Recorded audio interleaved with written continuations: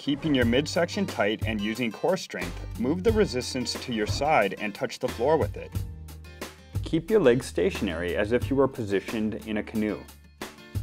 Allow your shoulders to rotate during the movement. Then bring the resistance across your legs to the other side of the body. Use a slow controlled movement at all times. Continue to alternate between sides and repeat for the recommended amount of repetitions.